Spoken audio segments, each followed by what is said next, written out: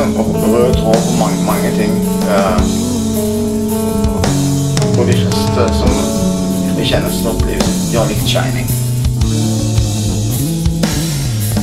Her er hans eh, mamma. Ikke vackert ting, Bak all galskapen så finnes det en profesjonalitet. Om det er oss eller The Shining eller Men faen det skal måtte være, så er det så er det en profesjonalitet bak det.